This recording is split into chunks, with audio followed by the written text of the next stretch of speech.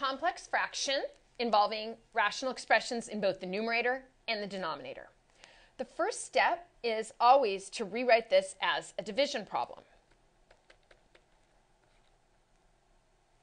Remember that the fraction bar is telling me to divide. So it's the entire numerator divided by the denominator.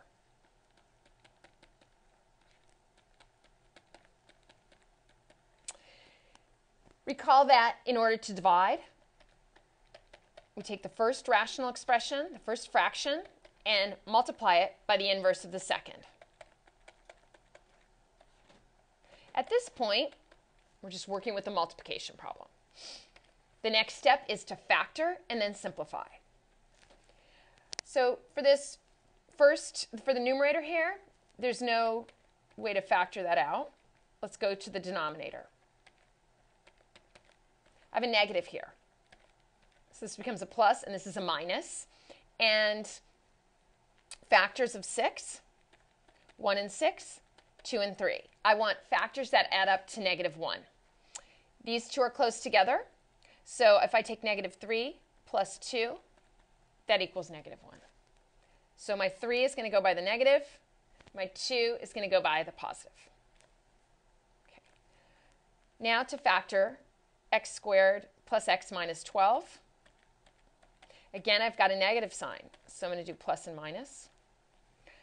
Factors of 12. 1 and 12, 2 and 6, 3 and 4.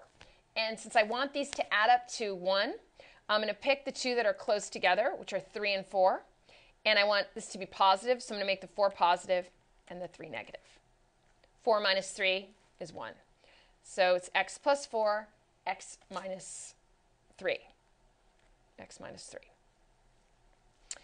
In the denominator, I have a common greatest common factor of 4. So this becomes 2x minus 3. 4 times 2x minus 3. So I did my factoring, and I see here in I have 2x minus 3 in both the numerator and the denominator. Those cancel. I don't have any common factor with x plus 4. I don't have a common fact. I do have a common factor with x minus 3. And this has no common factor. Now I multiply what's left behind. x plus 4 divided by, I have a 4 here and an x plus 2 there. Finally, I double check to make sure that there's no common factors that were missed. I cannot simplify anymore. So this is this complex fraction now in simplified form. Okay, that concludes this lesson on rational expressions, on multiplying and dividing, and I'll see you next lesson on educator.com.